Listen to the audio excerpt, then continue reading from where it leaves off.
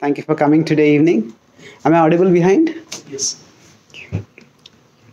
So today I'll speak on the topic of the mind and spirituality based on the Bhagavad Gita. and the mind in a bind. So basically, I'll talk this in three parts. First, we'll try to understand what is the mind. Then we'll talk about what it is that attracts and distracts the mind. And then we will see how that relates with spirituality. And that I- I'll talk primarily based on the 10th chapter of the Bhagavad Gita. Broadly, there are two kinds of people in the world some are wise and some are otherwise. and not just that some people are wise and some are otherwise. We ourselves are sometimes wise and sometimes otherwise.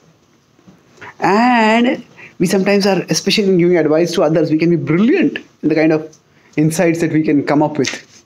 But when it comes to applying or doing something, we sometimes get, what, what, what kind of dumb thing did I do? Why did I do like that? So, what is it that makes us oscillate like this? What goes on inside us? What science has discovered about our outer world in the last few hundred years is amazing. But simultaneously, what we have forgotten about our inner world is equally amazing. And what we have forgotten about our inner world, that we can understand through wisdom texts like the Bhagavad Gita. So basically, psychologists and thinkers across the world have noticed that there is something inside us that works against us, that makes us that makes us misled. So, what exactly is that? So, the Bhagavad Gita offers a model of the self body, mind, and soul, the three levels of our existence. And these are like the hardware, the software, and the user in a computer system. The body is like the hardware, the mind, the software, and the consciousness of the soul is the user. Now, in this setup, the mind is the software, and the software is very restless. This is like if I have a phone screen, I might be reading something on the phone, but then suddenly something else comes up. It means something, uh, some other notification comes up. And some notifications are very intrusive. They don't just pop up, they just small pop up, they consume the full screen. And when that happens, then we get uh, what we were doing, we get distracted from that because suddenly something else has popped up. So, like that, we can envision our mind to be like a screen inside us. So, right now, you're looking at me. So, say I am there uh, in the outer physical world, I'm also there on the inner screen. But when you're absent minded, our mind starts showing something else. And Krishna says in the Bhagavad Gita that बंधुरात्मात्मनस्त ये नात्मवात्मना जिता नात्मनस्तु शत्रुत्व वर्ते तात्म शत्रुव and it this mind it shows us what we need to see then it is a friend and may start a showing things that we don't need to see then it becomes our enemy to make this example more complicated suppose you are driving a car and the screen in front of you, we have front window, which is meant to show us the road ahead. And sometimes some people have their phones and they have some entertainment systems on their phones or they have big monitors in, inside the car itself where they have entertainment system and they start watching a movie or start watching some cricket or baseball or something that can be distracting but imagine if the front front view front mirror itself front window which is meant to show them the road ahead if that itself converted suddenly into a tv screen. And they're driving but at that time instead of seeing the road ahead they started thinking of something else watching something else. It could be dangerous it could be disastrous. So our mind is like that. We are functioning in life and sometimes while we are talking with someone instead of hearing and processing what they are doing on our mind some other notification pops up and then we start we start uh, processing that and somebody says Uh, somebody maybe wants to maybe persuading us to do something which we are reluctant to do. But then they speak something, and then we in our head are there. Yeah, okay, I'll do it. Oh, thank you very much. Oh, what what happened? No, no, I didn't want to say yes, but you already said yes. It happens to us sometimes. We are caught unawares. Why? Because we are not attentive to what the other person is saying. So the mind getting distracted can be very dangerous. So if you consider, uh, say, uh, now a car has a simple control system, but if it's, if it's a complicated plane, and the plane has a front window, now you don't really see much with the plane's front window. Actually, you see some things, but the plane to operate it, it's more all the control panels. But if the plane's control panels start showing something which is misleading, they start showing us something other than what we want to see, what we need to see rather, it can be very dangerous. So our mind often shows us things which are not really needed for us to see. And it diverts us from the things we need to see. At a simple level, it causes absent mindedness. Absent mindedness, the classic example is that somebody is living on a ranch, ranch and they climb on a horse and they start searching all over the ranch for the horse on which they are riding. that is absent mindedness. So this is the mind. Basically, it's the inner screen which is meant to act like a window while we are navigating through life, but sometimes it becomes like a TV screen and starts showing anything and everything. So now that is the first part I'm going to talk about. The second part is okay, what determines what determines uh, what will be seen over there? What pops up over there? What doesn't pop up over there? So that largely is determined by what is attractive for us. Now it is said, beauty lies in the eye of the beholder. What that means is it said that different people find different things attractive. Now this doesn't mean entirely beauty is subjective. So there is objectively some, some things are beautiful, some people are beautiful. But apart from that, we all have our individual things which we are attracted to. So, whatever is our conception of attractiveness, based on that, that pops up on our inner screen. Say, if now most of us from many of us are from India, so if we are mad for cricket, and as soon as we hear some news about cricket, then oh, what happened about cricket? Now, if somebody is from, say, I, whenever I give talks in American universities, often the organizers told me, tell me, don't use cricket examples so because for many Americans, they say cricket reminds them of an insect, not a game. so maybe it's a baseball then. Baseball, oh, baseball. So what happens? One stimulus comes up, and if we already have some, if you consider that attractive, if our conception already is that it is attractive, then immediately that consumes our full screen. So each one of us, based on what we were attracted to in the past, based on what we have indulged in, enjoyed, those particular notifications will zoom up within us. It's like again a software. Suppose somebody has visited a particular website, say sports.com, repeatedly, and they come for a spiritual talk and it's interesting. I want to find out a little bit more about spirituality. Then they go on their browser and they want to type spirituality, S P I R I. As soon as they type SP, what happens? Sports. Sports.com comes up. Why? Because that's stored as a preference. So similarly for each one of us, we can say in our mind, certain things are stored as preferences and they pop up quickly. And we get attracted to them and sometimes we get distracted by them. Depending if that's not what we want to focus on, we get distracted by them. So based on our interests, our desires, our definitions of attractiveness, basically, we get attracted to certain things. So when we talk about controlling the mind, all everyone's mind gets distracted, but not everyone's mind gets distracted by the same things. Each person's mind, based on their experiences, they will have certain things to distract them. So now this is a universal principle. Now, how do we relate this with the Bhagavad Gita? And the, especially the Bhagavad Gita's 10th chapter is a very interesting chapter. It is called as Vibhuti Yoga. So I'm going to the third part now, which is the major part of the talk. The first part was what is the mind? Second is how does the mind attract or distract us? And the third part is how can the Bhagavad Gita's knowledge help us to manage the mind better? So the Bhagavad Gita's 10th chapter is called as Vibhuti Yoga. Vibhuti is a special manifestation. Bhuta means existence, V means special. So special, so some special existence. That means anything that is special in the world. So the, the, the idea of Vibhuti is the one above the many manifests as the one among the many. I repeat this. The one above the many manifests as the one among the many. What this means is that the one above the many is the divine, is Krishna. And he's all attractive supreme person. And he manifests in this world in various attractive things. So, what the Bhagavad Gita gives us a universal principle that it says, Yad yad vibhuti va tattadevavagachatvam mamatejomsha sambhava.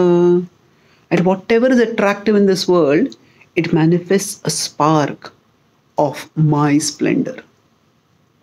So, some people, say for example, in sports, some baseball player, some cricket player, some athlete, they all seem to have almost superhuman abilities.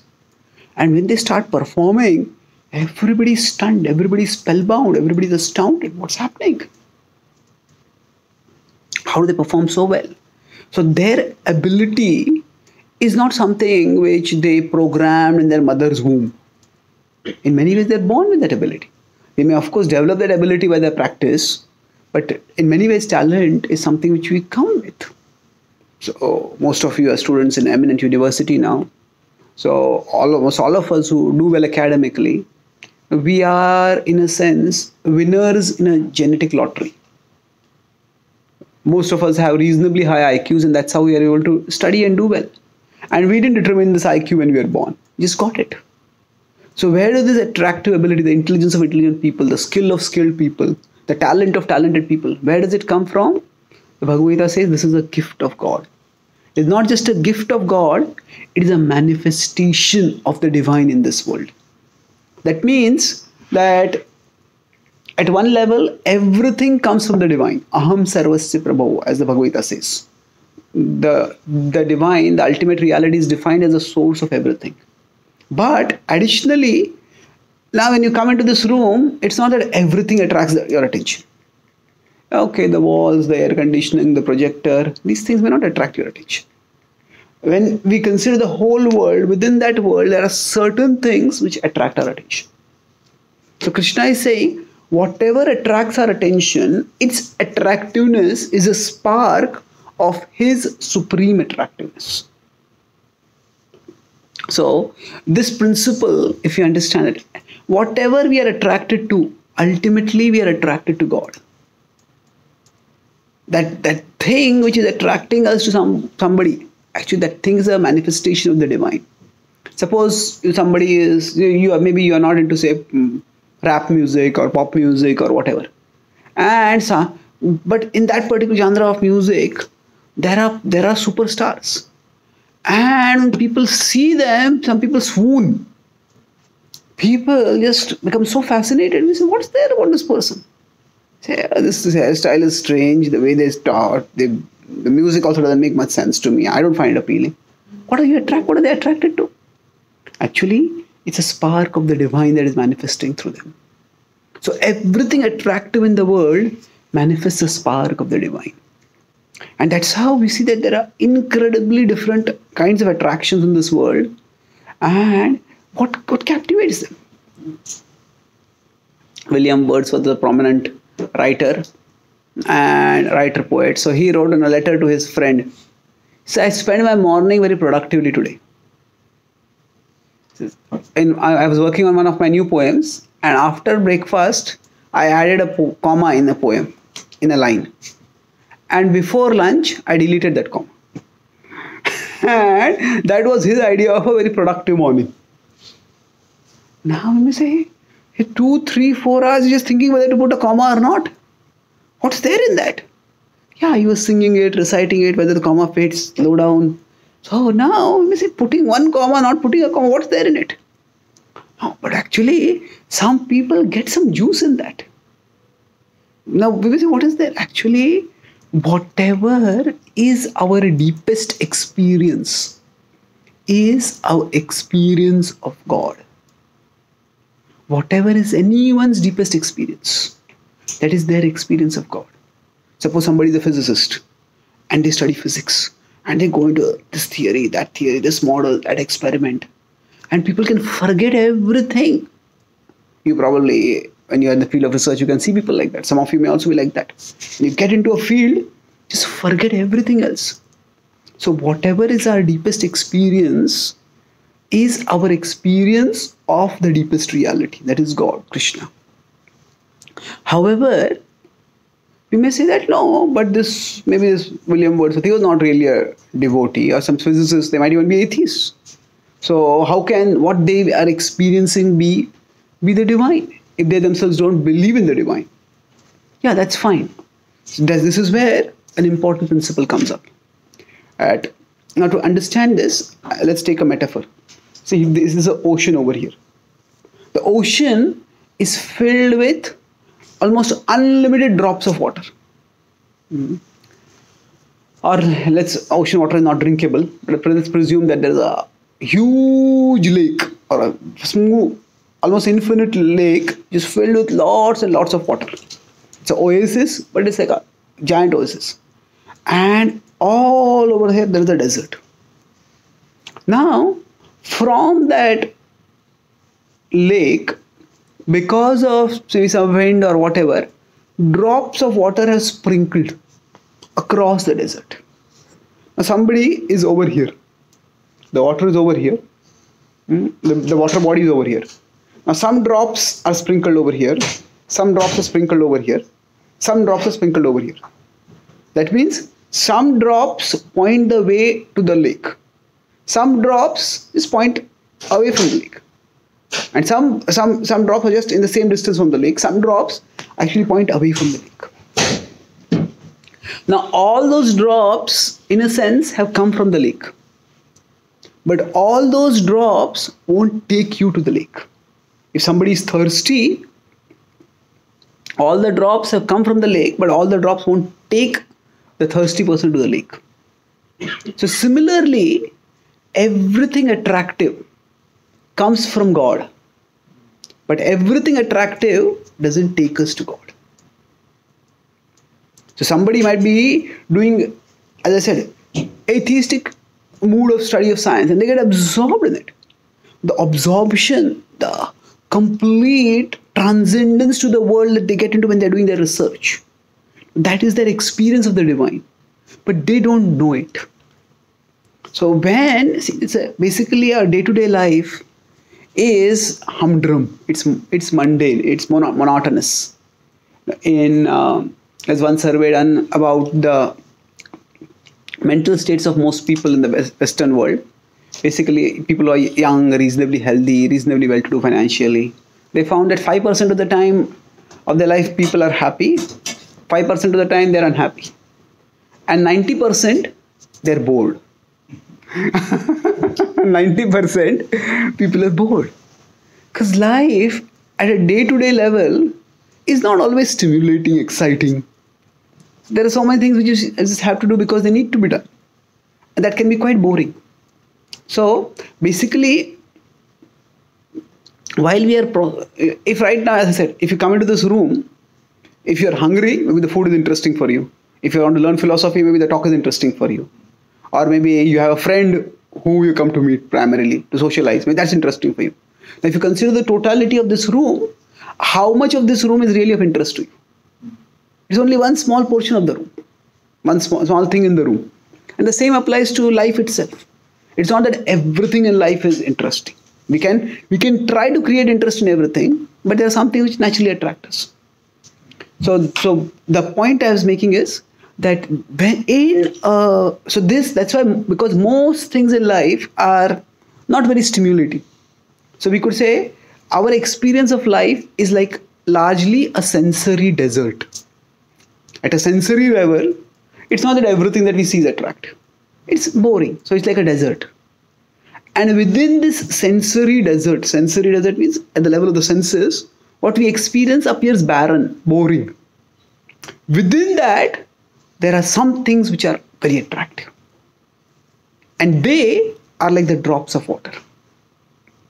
So, when somebody looks very attractive, somebody is very smart, somebody is uh, very charismatic, whatever, then that is like a drop of water. And you get captivated by that. So, we are looking for these attractive manifestations, whatever it is. And in mostly entertainment is all about mm, concentrating more and more attractive manifestations in one screen or in one episode and then try to keep us riveted to it. The idea over here essentially is that whatever is attractive, that is like a drop of water. Now, we may find a lot of stimulation, a lot of excitement, a lot of lot of anticipation in, in these drops. So when we find somebody attractive, we want to people forget everything. I just want to spend time with this person. It's because they're attracted, and that's there is attractiveness in this. However, all the attractiveness of attractive things is temporary. It is there for some time, and after that, it is it deteriorates. It doesn't stay for very long. Beauty is short-lived. If we come to a new place, we're stimulated. I want to see this place. I want to see this place. I want to see this place. Hmm. I had gone to the Niagara Falls about a couple of years ago when I was in Canada. I gone to give a talk in a university nearby. The organizer, organizer said, let's go to Niagara Falls. So then we went there, and then there was another friend of mine who was staying over there. And he told me that when I came here, he's been there for 10 years. So he said, in the first year when I came, I went, he was about half an hour away from Niagara Falls. He said, I went six times. In the next nine years, I have only gone three times. When some relatives have come to show them Niagara Falls. So I don't find anything interesting in it. What happened? The, the captivation is there. But after some time, unless somebody has a deep love for nature or special appreciation for water bodies, something like that, that charm goes down. So, all the attractive things in the world are like drops. When, a, when we are in a desert, even a drop of water seems huge. And in the sensory desert that is around us, anything attractive captivates our attention. However, the drops are not enough. So the back, to retrace what we are where we are going in this talk is and the mind gets attracted and distracted by various things. So what it gets attracted and distracted by are these drops of attractiveness. And all these drops of attractiveness are coming from the ocean, no, the huge water body of attractiveness. That is, that is the divine. That is the all attractive supreme. That is ultimate reality. Krishna. So everything attractive comes from the divine, but everything attractive doesn't take us to the divine. All drops of water are coming from the water body but some water, so if I am here and some water drops, water water drops are here, and following them will take us away from the water body. I was in Australia. I gave a seminar, and after that, a student asked me this question: that you know, if if the divine, if God, whatever name we use, if God wants us to do good things, why are the good choices so few and the bad choices so many? The allurements, the distractions in the world are so many. And the right choices, there are so few. So I said, that's how it always is in any multiple choice exam. Mm. any multiple choice exam, if there are five options, four are wrong. Only one is right. Now, if we are going only on probability, then the student could blame the teacher. Student could even sue the teacher. You set me up for failure. If 4 wrong means my probability of getting right is only 20% and passing is 40%. You are causing me to fail. But the choice is not meant to be done on probability. It is meant to be based on intelligence, on education, on assimilation of the knowledge. So, similarly, there are many attractive things in the world, and we can get attracted to any of these things. But we need to choose what do I want to get attracted to. So if I get attracted to the drops of water that take me away from the divine, it's like I'm choosing the option that is wrong. It will keep me in illusion. It will make my mind more and more agitated.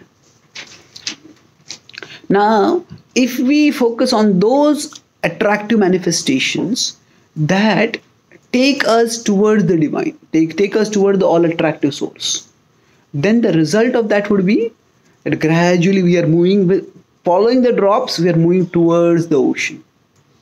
Here we can assume this ocean of drinking water, drinkable water, delicious, delicious, schooling drinking water.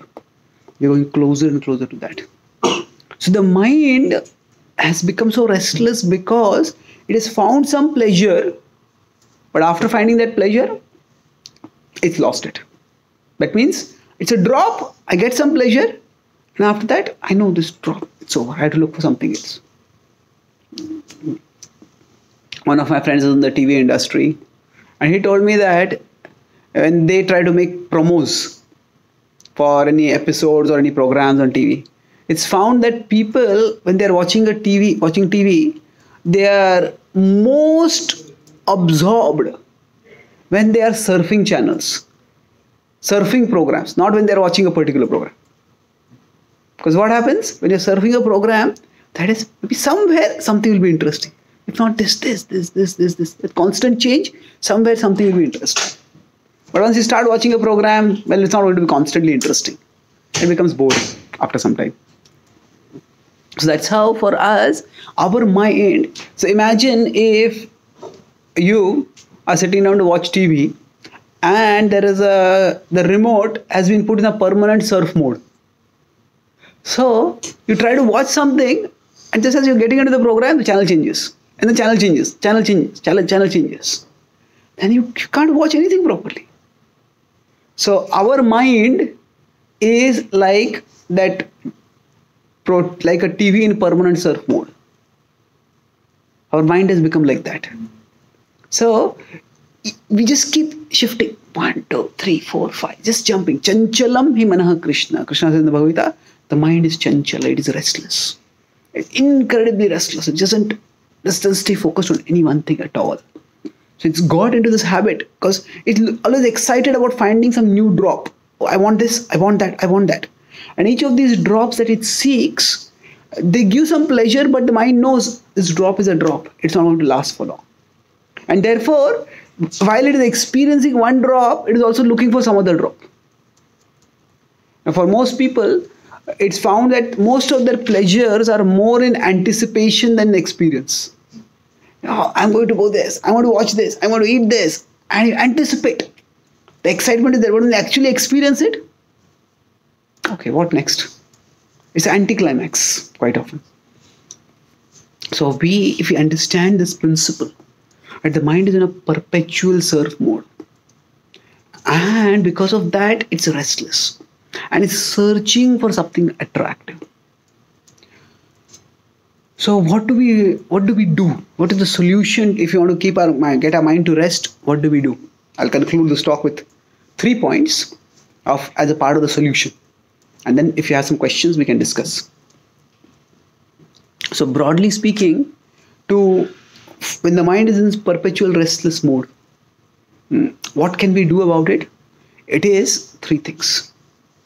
Education regulation purification. Education means understand that what is the nature of the mind. I need to educate myself to understand how exactly the mind is so that i'm not uh, i'm not disappointed or frustrated when the mind goes off. Because that is the way the mind is. The mind is in a perpetual restless mode. I may say i sit down to study. I make a resolution. I'm not going to do this. I'm going to do that whatever. But then the mind goes off. Then expect it. It's just like if you have some sibling who is uh, maybe small for three four five years old and you are told to look after the sibling. Sit down and study if you come back after 15 minutes, you don't expect the sibling to necessarily be studying. You expect the sibling will be restless and you'll have to get them back, come back and study. So, we education means understand the nature of the mind. Education means also understand that although the mind is restless, we need education to understand there is this ultimate reality. There is there is God, there is Krishna. And the mind is ultimately searching for that ultimate reality. And we need to try to recognize although i might not find the ultimate reality attractive right now because even when i come to the ultimate reality the mind comes there stays for some time goes off. And we can't experience the ultimate reality also. And that's why the mind stays like this. So education means understand the nature of the mind understand the nature of reality. Okay these drops are going to take me away from the ocean. These drops will take me toward the ocean. Education that is important. The second is, what did I say? Regulation. Regulation, Regulation means that the less the structure in our life, the more the rupture the mind can cause in our life. Structure and rupture. What do I mean by this? Say, suppose you wake up in the morning and you have no plan for the whole day you know, okay, I have to do some lab, I have to do some studies for my future exam. I have to prepare for some job interviews. I have to do this. But there's no structure for that. Then maybe in the morning you wake up and the, and the mind says, let's let's let's watch some YouTube videos. And you start watching, and everything I watch for two minutes, two minutes becomes five minutes, five minutes become one hour, one hour becomes three hours, and you may find that is, it's evening and the whole day, what did I do? So, what happens? Now, if the same thing started, you started it and you may spend, may, may spend half an hour, one hour, but suppose you have to go for a class. Suppose you have to go for some engagement, some work. Then that structure forces us to get out of the head, forces us to get out of the mind. So we need to create some regulation in our life, some structure. Regulation broadly means that some kind of obligation, commitment, which is not just dependent on our mind's moods. We have to create this structure. If the structure is not there, the mind's restlessness will take us far away here, there, and everywhere. And in many ways, you see, the structures that guided people's lives in the past, they have disrupted and a structure can be jobs and careers structure can be relationships structures can be various things. Structure means something which gives us a pattern or order a regulation to our life. Now if we are if we have a committed job if we have a committed career if we have a committed relationship then that creates some structure. Now in the past what had happened? If you see in the last 50 to 100 years mental health problems have increased enormously. There are many reasons for this, but one reason is that the structures in people's lives have gone down. It's not that structures are not there, but the structures have become less obligatory. In the past, for most people, maybe 100, 200, 300 years ago, in the past, more or less, people's life trajectory was determined by their birth if you're born in a particular family, then this is the kind of job you're going to do. This is the kind of life you're going to have. What we call as upward mobility was not much there in the past. Whether it was in India where there's a caste system or in the West, which had its own, own class system. Whatever it is. Now that was in some ways restrictive, but in some ways it was also protect it was also protect protective. You had a structure. So in the past people had their duties, socially ordained duties, and that gave some structure to their lives. Now today's mood is you know, we don't like the socially ordained duties. Today there is much more individualistic culture. And of course the advantage of this is that we have we have greater opportunities for upward mobility, for acting according to our talents. But the problem with that is that when there is too much freedom, it also becomes a burden. So imagine if you want to send a message to your friend on your phone. And each time you have to send a message, the phone starts asking you, Okay. What font do you want to use? What font size do you want to use? Do you want to underline? Do you want to highlight? What background do you want? I just want to send a message. Just set some default and get on with the message. So there are too many options. we, navigating through those options itself will exhaust us. So we, when we create a regular, we need some structure, some basic pat, basic framework within which you can exercise our choices. If the framework is itself open for choice, then the mind gets overwhelmed by it.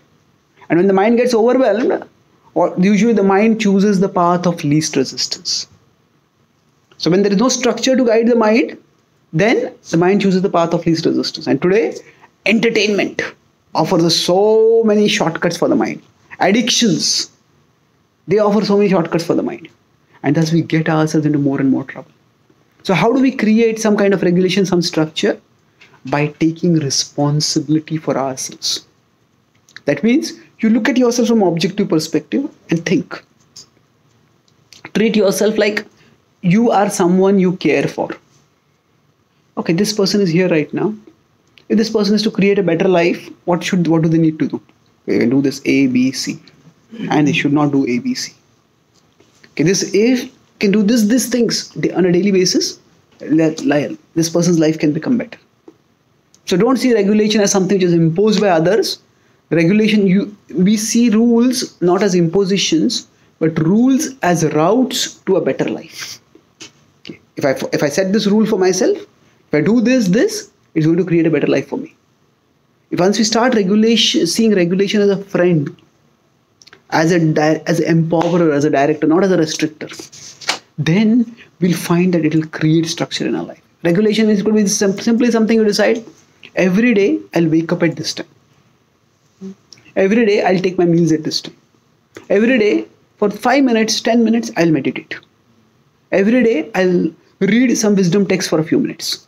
See, we cannot possibly regulate our entire life. Life is too unpredictable for that. But some regulation will help. That means when the mind starts just oscillating, bring some structure to it. That's the second. And the third is purification. Purification means that the mind gravitates based on the impressions within it towards certain things. So the Bhagavad Gita actually talks about all these things. Bhagavad Gita, the first point which I said is education. The Bhagavad Gita itself is offering us education. It's spiritual education about nature of reality regulation the bhagavad gita talks about you know use wisdom texts as guidebooks to regulate your life and then purification comes based on what we expose our mind to uh, whatever like i said earlier if you repeatedly visit sports.com even if i want to go to spirituality i'll go to sports because that is stored as a preference in our software in our browser so similarly for us based on what we have done in the past certain impressions are stored in the mind. So you could say that every action that we do, it creates an impression within us. And that impression comes up as a proposition. Action, impression, proposition. So if somebody uh, takes drugs and then they take it once, then that is stored as an impression. Next time, whenever they're in a situation with those friends or in that atmosphere, let's take it again. Somebody who's never taken drugs, that impression is not there, that proposition will not come. So action, impression, proposition. So purification means we change the impressions within us by exposing ourselves to purer stimuli. The most, the, pu- the purest of all stimuli is the all pure divine. So bhakti yoga is a process by which we expose ourselves to the divine, whether it is to studying the Bhagavad Gita, whether it's to worshipping Krishna as we might do, or by the chanting his holy names, we are exposing ourselves to the divine. And the more we expose ourselves to the one who is all pure, we become purified. So, purification means it's a change of preference, a change of taste. Uh, when we are impure, we naturally gravitate towards impure things. When we are pure, we gravitate towards pure, pure things. So right now we may have some degree of impurity, some degree of purity. We may like some pure things, some impure things. So we need to, the more we expose ourselves to the pure, our preferences, our tastes will change. And when the tastes change, so the, the mind will move toward the pure. The mind, eh, as I said earlier, based on the impressions, it pops up certain things on its inner screen. So as we become purified, we'll find that the mind will while will gravitate toward that which is good, that is uplifting. And as it moves closer and closer to the ocean, from this place where there are drops all around, it moves towards the drops that take us toward the ocean. And as it moves toward the ocean, it starts experiencing the richness, the sweetness uh, of the ocean. Then it starts coming to rest. It starts becoming peaceful. It starts becoming joyful. So the mind, in this way, when it rests in that which is good for us, when it is attracted to that which is beneficial for us, that is when it becomes our friend. And Bhakti Yoga is the process by which we purify our mind and thus make it our friend. So, Krishna in the 10th chapter tells us there are many attractive things in the world. Get attracted to those things which link you with the all attractive. We might like music, there are many different kinds of music. But if we get attracted to spiritual music, then that spiritual music will take us toward the spiritual reality. Say we like to read books, then see if you can find attractive spiritual books. Like we all like to socialize, we want friends. See if you can have friends who are spiritually minded. So it's not that we give up, but it's more that we choose more carefully. Whatever are our natural needs, we have we need we need a social we need social circle, we need some reading material, we need stimulation through music, art, whatever it is, we find that in a way that is harmonious with our ultimate good. And Bhakti Yoga is that inclusive process which can connect us with the ultimate reality. And thus, it can help equip each one of us to manage our mind till it becomes our friend. And once the mind becomes our friend, then life becomes joyful and fruitful. So I'll summarize what I spoke today. I spoke on this theme of managing the mind based on the Bhagavad Gita, especially its 10th chapter. I talked three main points. What is the mind? The mind is like the software inside us. The body is the hardware, the mind is software, the soul is the user. And on the software, various notifications keep coming up.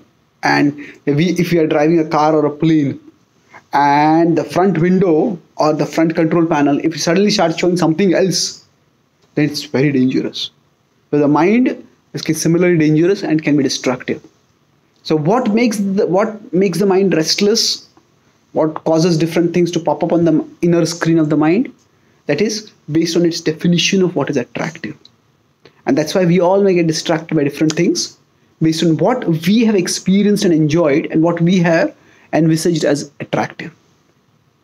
And what does the bhagavad gita offer us for managing the mind? That last part i talked about three main things. The first insight in the bhagavad gita is that everything attractive is a manifestation of the divine. That whatever is attractive, its attractiveness comes from God. Just like all drops of water come from the ocean.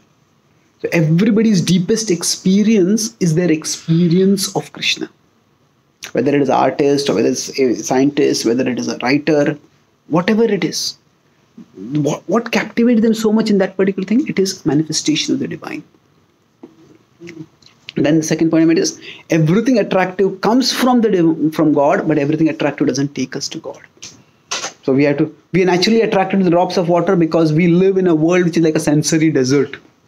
90% of the time it's boring. So we get caught by anything which looks attractive, but it's like a drop. It doesn't last for long. And some drops may take us away from the ocean, some toward the ocean. So when the mind gets attracted by these drops, it gets distracted. So the way to manage the mind is through three things.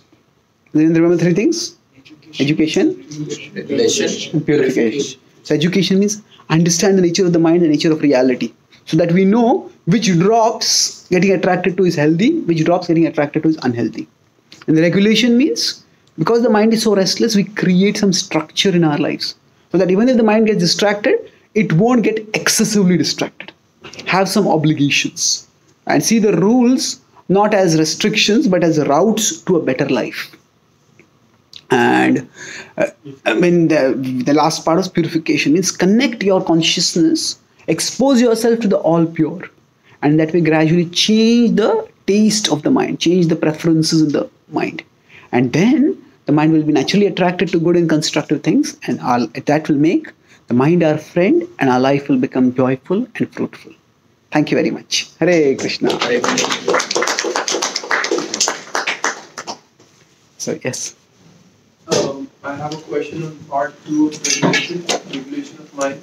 Mm. So when we when we are um, um, meditating, I've noticed like even when I'm using like a chant chant to regulate my mind, that I will chant something, keep on chanting something, so that my mind becomes one pointed. But I've noticed like there are three levels or something like that. Uh, one is like um one one aspect of one one uh, aspect of my mind is chanting. One aspect of my mind is thinking something else, and one aspect of my mind is having some visuals. So can you tell me like how many aspects of minds are there? Or Okay. yeah. So when we are chanting, uh, we our mind may go in different different tracks. I mean, it's not going on different. I I noticed like I was chanting continuously, but I was also thinking something else continuously. That's okay. See, okay. See, let, let me uh, elaborate on this further.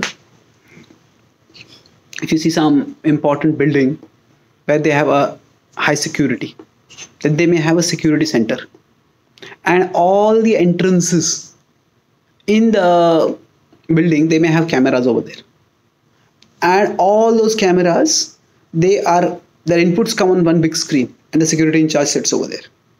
So you may have this big monitor with maybe five windows within it, and it shows each entrance. So similarly, you could say the mind is inside us, and the mind has these five windows coming, five inputs coming in.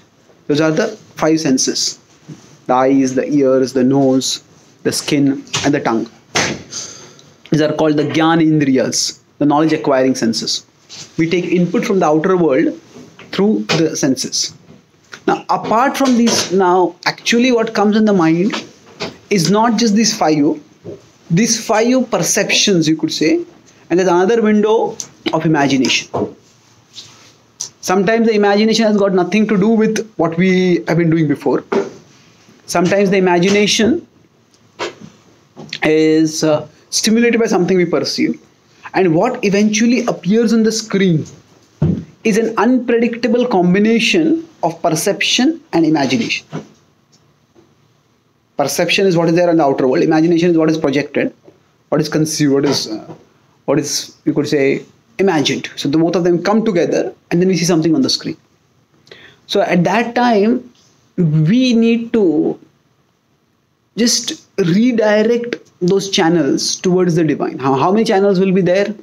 It depends on person to person. Some people are more verbal than visual. Some people are more visual than verbal. Some people are more sonic. Some people are more tactile. That means those channels are very active for them. So when that happens, then we have to see which channels are the most active for us and try to make sure that those channels we try to spiritualize them. So if we are more visual, then try to have some visual stimuli that are connected with the with the process of meditation, with chanting. Say maybe keep some picture of the divine, keep some maybe print out of the mantra, keep some spiritual stimulus which is visual for you. So then the number of channels are not necessarily fixed. How many there will be in our inner screen.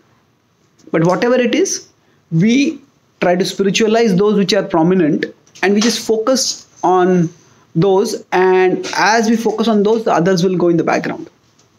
So it's a it's a matter of say as i said if there are these five windows on the security camera and somebody who's the security in charge they see something suspicious then they will click on it and that will zoom out. And once that zooms out then everything else puts goes into the background. So similarly for us, we want that per, what what we are doing. If we are meditating, we want to, to have the meditation channel zooming out. But if something else is also captivating us, then we try to have on that channel also something which will connect us with the spiritual, with the spiritual focus. Does that answer your question? Yeah. Yeah. Something else on your mind? No, no. Yeah. Thank you I mean, does like Bhagavad Gita say like, I mean, uh, how many channels are there? Or See, the, as I said, the five Gyanendriyas are there, but then it also says Shotram, Chakshu, Sparshanam, cha, Rasanam, Granam, Evacha, Adhishtaya, Manashchayam, Vishayanupasevati.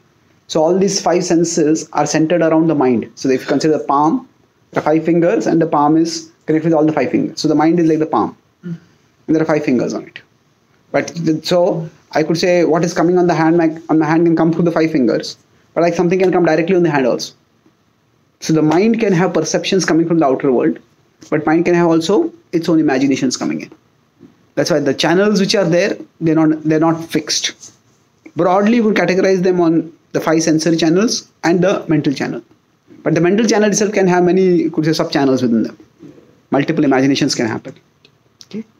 Thank you. Yes. I would like to know how you stop excessive worrying.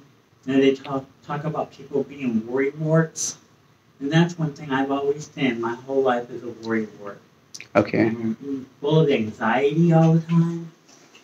yeah so how do we how deal with that? yeah how do we stop worrying i have a whole seminar on this but i'll quickly summarize the thing it's fear it's acronym f-e-a-r four steps for dealing with fear focus engage arise and release. Uh, basically if you consider this three level of reality body mind and soul then fear occurs primarily when something which is which is threatening we perceive and that triggers our mind's imagination. This may go wrong that may go wrong that may go wrong that may go wrong. So then what do we do? It's the fear now there can be some danger outside which needs to be dealt with but the mind exaggerates that danger. So the way to deal with it is to get out of the mind the body mind and soul. So the way you can get out of the mind in two ways. One is go down to the body the other is go up to the soul. So in this focus engage arise and release the first two are get out of the mind and get to the body. Focus means what is the exact problem right now? Ask yourself this question. Oh you know this person is upset with me. Okay what is the exact problem right now what? Okay this person may obstruct my work. This person may not approve what i'm doing. Okay what is the exact problem right now? Now i have to complete this work. I have not completed this time. Okay let me get down to completing this work. So fear often gets us fighting against an invisible enemy. So focus makes that enemy tangible. What is the exact problem right now? That's f focus. Then e is engage. Engage is what can i do about it right now right now what can i do about it? Okay right now let me take a few deep breaths. Let me start doing this a b c. Generally it is during our idle time that our mind works overtime. So fear catches us when we don't have anything to do. So just get out of the head. Get out of the mind focus and engage. And as soon as we start doing something fear will not go away but the fear's grip on us decreases we are in the mind and we are the mind is showing us a horror movie and then we get horrified by it. Just get stop watching the horror movie. The way to stop watching is get out. Start doing something. Focus on something physical and engage yourself in something physical. Not just something trivial to distract yourself but something which is tangible which you know is dealing with the issue. Then third is now the first two are you get out of the mind by going below the mind. The second is to are get out of the mind by going above the mind. Arise arise means that understand that you are a spiritual being. You are indestructible. That you have gone through many many situations in the past and you will weather this storm also. Our circumstances should be like carpets. The carpet should be below us not above us. The carpet is above us it will be suffocating and blinding. And that's what happens when our circumstances go above us so get the circumstance below. Remember remind yourself no i'm a soul. I am a spiritual being. And you can look at this maybe if you think about one year ago you might have had some cause of fear some crisis at that time. But that crisis is now gone. You don't feel in a crisis mode because of that. So similarly this will also go. So arise raise yourself above. This is where practices like meditation if we have done them regularly meditation can raise our consciousness upwards. Mantra chanting can help us to to realize that okay this this thing is there but i am its observer. I am different from this. Arise. And last r is release. Release means that that which is not in our control is not out of control. That which is not in our control is under some higher control. That there is a there is a higher plan and order to life and everything that happens is not good but everything that happen happens can be for good so we focus on that which is in our control and let go of the things that are not in our control once you release then you will find you'll get a lot of relief. Now, this release is not irresponsibility because we are not just releasing and abandoning everything. We are releasing that which is not in our control so that we can focus on that which is in our control. So, you do these four things focus, engage, arise, and release. It's a simple but a powerful way of managing our fears. Fears may not go away immediately, but the grip of fear on us will substantially decrease. Does answer your question? Okay. Any other questions?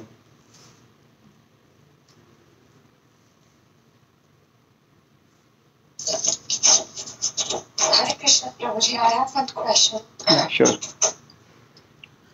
Um, sometimes I find uh, that I I have much more time to do things, and I plan out okay I have to do certain things, but because um, the mind because um, the mind is so distracting, I um, I fail to I fail to do uh, many of those things, and I feel I'm so unproductive.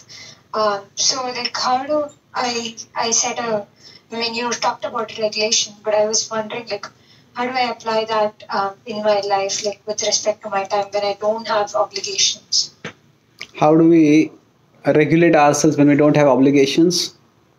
Well, broadly, it is good to start with SSS that is, small, simple steps.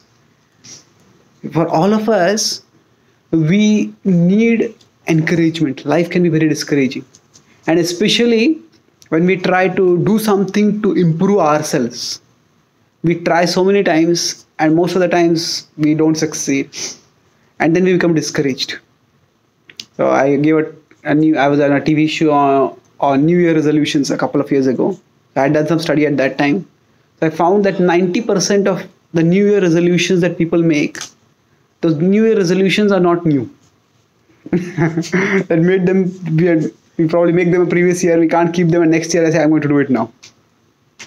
So basically with respect to our inner inner change inner empowerment it's very easy to get discouraged. Because it's not easy to make a change. So that's why make decide small simple steps. Rather than setting up something very difficult to do okay i'll do this for 5 minutes every day and just stick to that five minutes. And if five minutes you can't do on one day, maybe do 10 minutes the next day. But just take something small, and after doing it, don't. The mind is very cunning. The mind will say that, oh, what is five minutes going to make a difference? No. Actually, if you want to say what difference is going to make, you can always take a context and say, even if I do for five years and then I stop doing it, what is it? What did it five years do? We can always take a time frame in such a way that everything that we do can be trivialized. Hmm? But during those five minutes, it makes a difference. During those five minutes, if we do it, we are creating a new habit for ourselves. So, don't if, if you're doing a small thing, don't let the mind trivialize or minimize it. So, uh, appreciate yourself. Good job. Not in the egoistic sense, but yeah, good job. You did it for five minutes. Good. Now, maybe next time do it for five minutes. Whatever. So, small, simple steps are the way to change ourselves sometimes we set up huge goals for ourselves and then we can't do it and then we just feel i'll never be able to do it. And so set up something which is small and manageable. And in general it is good to start with uh, especially on the inner journey to start with something which can be an anchor for us. That means let's say if, if there is a circle of things which we like to do and a circle of things that are good for us. Now, if these two circles were identical, life would be wonderful. now, unfortunately, these two circles are not identical, but nor are they completely non intersecting. So, find out something which is at the intersection of the two and make a resolve to do that. So, we may, there may be 100 things which are good for us, but maybe 95 of them are something which we don't like to do at all but five of them are something which you like to do. Then focus on that resolve. Okay, let me do these things. So as we start, because we like to do them, doing them will be relatively easier. And as we start doing that, we will gain more confidence. So basically, small, simple steps in the circle of intersection between what we like to do and what is good for us. That's the way to start working. Does it answer your question? Yes. Thank you so much, Guru. Thank you. Anyone last question? Is something on your mind? Yeah, please. Why do we feel insecurities in our life? Why do we feel insecurity in life? Because life is insecure. yeah, it's just, um, see, fear or insecurity is not a bad thing. Fear is what stops us from doing foolish things.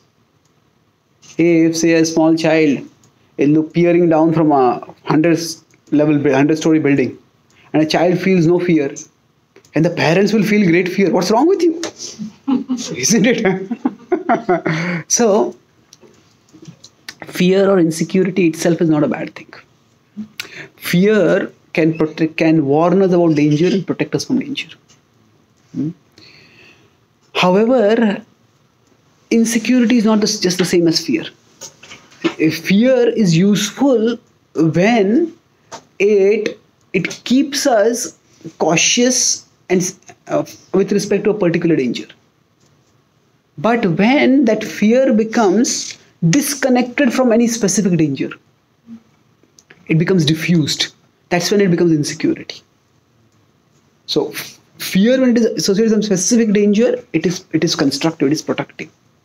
But when it is disconnected, then it's it's general fear. Oh, what if I get a what if I get some or get get cancer? What if I lose my job? What if this happens? What if that happens? What if that happens? So then when it is diffused from when it is disconnected from any speci- specific stimulus, then it causes insecurity. So now if we want to consider what all things can go wrong, well, anything can go wrong in life. Right now we are sitting, the roof can colla- cave in on us, and we all can be crushed and we can die. But there is there is a difference between probability and possibility. Anything is possible, but how probable is it? Hmm? Right now, this phone in front of me that might blow up and burn my face. Well, it's it's possible, but it's not probable. So we can we can when our mind starts coming up with fears, it's, it's basically what happens is it's this big sense of maybe possible danger coming up. So then we, we try to make it more concrete. Analyze is this a possibility or is this a probability? What is the probability of this? Now sometimes things which are improbable also happen. Yeah, that happens, but then the improbable, it's not just the bad things that happen. In improbable, good things also happen for us. If now most of you will probably be around 20 25 30 something like that. Maybe a few or more few less. But there are millions of people who die before they come to the age of 20 so if we are alive that means there is more right than wrong in our lives. So if you want to go into probabilities of all that may go wrong well let's look at the probabilities of what has, what has gone right in our life also. so insecurity it is caused by uh, the fear divorced from any specific source of fear. So then what do we do? That we we try to link that fear to a specific source and then address that source. So okay, what is making me feel insecure? Don't blame yourself. Why am I so insecure? No, this okay. Maybe what okay, this is what is making me insecure. And then you can apply this fear acronym, what I said. Focus, engage, arise, and release. But um, there's no need we all have particular kinds of minds. And some mind is maybe more prone to fear than others.